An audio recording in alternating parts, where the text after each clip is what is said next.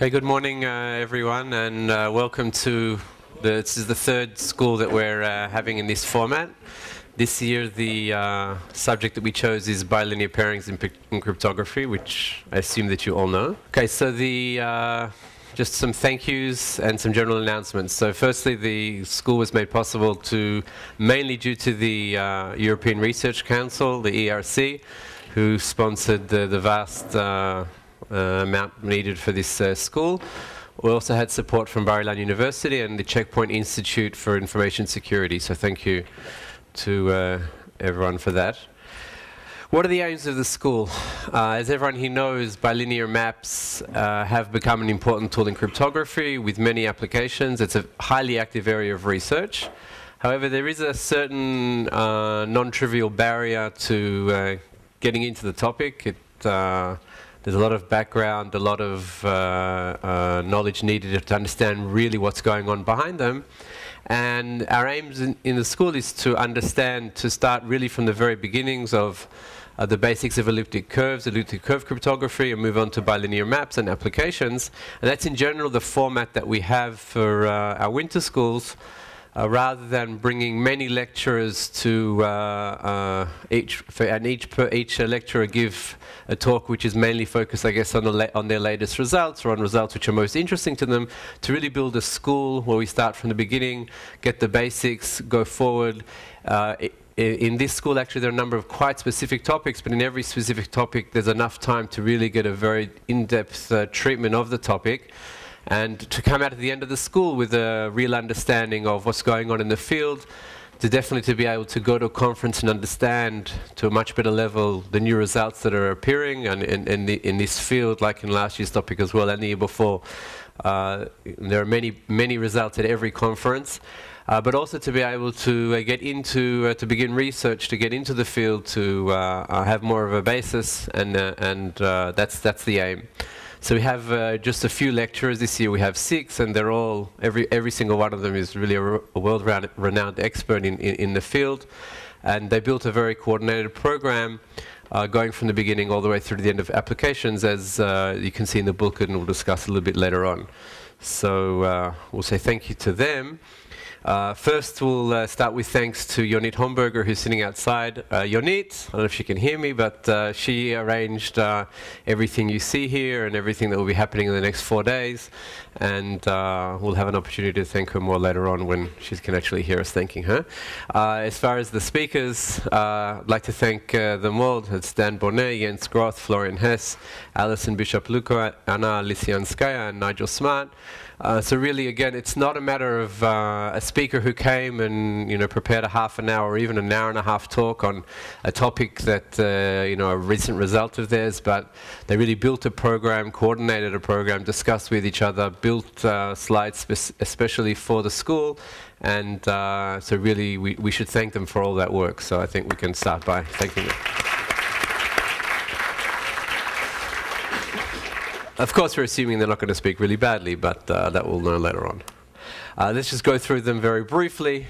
Uh, uh so uh, I don't know how good the graphics is up here, but uh, so Dan Boneza, professor at Stanford University, without a doubt a leader in applied cryptography in general and applications of pairings in particular. I'm only going to say a few words about each speaker, so uh, I can actually have long eulogies about every single one of them, but we'll wait until they die to do that. Uh, Jens Groth is, uh, I would say, a professor at the University College in London, but there they call it a reader in cryptology. I think it's basically the same thing.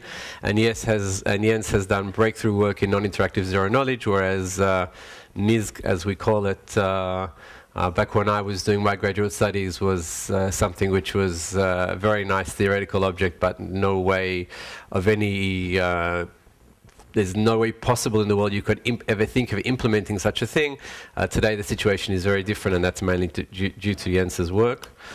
Uh, Florian Hess is a professor at the University of Oldenburg. I'll skip all the bit before that because I can't say it. He's an expert in number theory and algebraic geometry with applications to cryptography, and he has a lot of work on the foundational results on the computations of pairings. And last day of school of the school, he'll really go into depth in how actually we compute these pairings and how the mathematics works behind them, which is, uh, if you want to do at least it's my belief, if you want to do research in a subject, understanding really what's going on underneath is, is very, very important. Uh, Allison is a postdoc at uh, Microsoft Cambridge, so I guess you could say she's our uh, younger speaker, but uh, that uh, goes only to her credit since uh, she has really major results in applications of pairings to advanced encryption schemes, attribute, attributes, that's a typo, attribute-based encryption, functional encryption, and of course much more. And she's also a great speaker, so I'm sure we'll enjoy hearing her. Uh, Anna uh, Lysyanskaya, we can also congratulations because she just got married, so congratulations to Anna. Um, I'm allowed to say that, right? Yeah. And she's a professor at Brown University.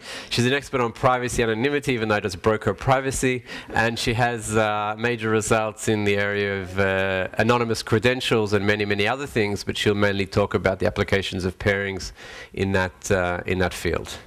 Nigel Smart is an Australian uh, uh, football player, and uh, he thought he was just an English nerd. He's actually, oh, maybe this is the Nigel Smart we really mean.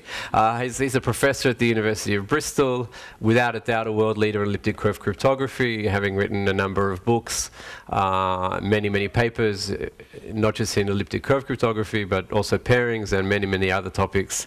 And he'll speak to us mainly today and give us the basics so that we can understand everything else that everyone else is going to talk about throughout the rest of the school.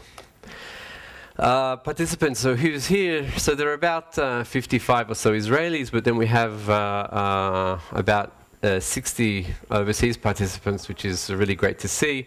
The, uh, we have the biggest contingencies from USA, Germany, and the UK. We have also a nice amount from Denmark, Poland, Italy, Austria, France, India, Switzerland, Hong Kong, Luxembourg, and I hope we didn't miss any. Uh, so really, we have a nice international audience, and uh, hope during the four days you'll also have time to mix and speak and and network, etc., etc. That's also a, a nice benefit from the, the school couple of uh, announcements. So we're actually not on the campus of the university. The campus of the university is over there. You can see there's like this wire fence. So you actually need an ID if you want to go onto campus. I don't know why you necessarily would want to, but if you want to, you need an ID on you. In general, in Israel, it's not a bad idea to have an ID on you uh, at all times. It could be a driver's license or something else. Uh, it's not mandatory. There is a wireless connection, uh, which I hope works here, but I'm not 100% sure. It's called Bar Ilan Guest. Has anybody tried to connect to it yet? It works? Okay, so it's just Barry Guest. It's a public network, no password.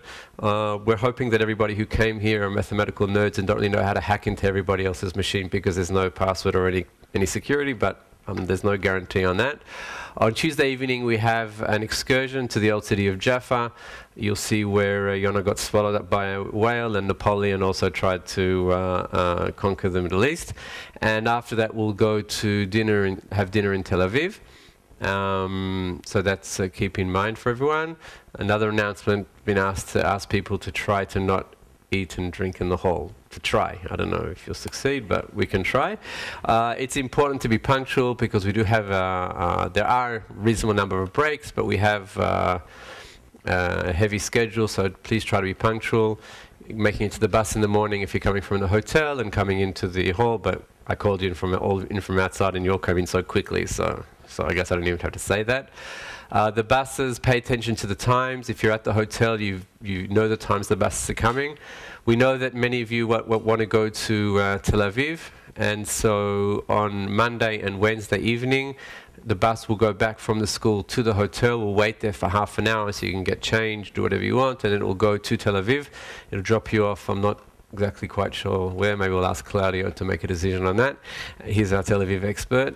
And, uh, and then uh, getting back, uh, the, probably the best thing to do is just to come back in, uh, in a taxis, just groups of a few people together. That would be the best way to do it. So thank you again to all the speakers who put in a huge amount of work preparing the program, to Yonit Homburger for organizing everything, and to all of you for coming. And uh, let's get started.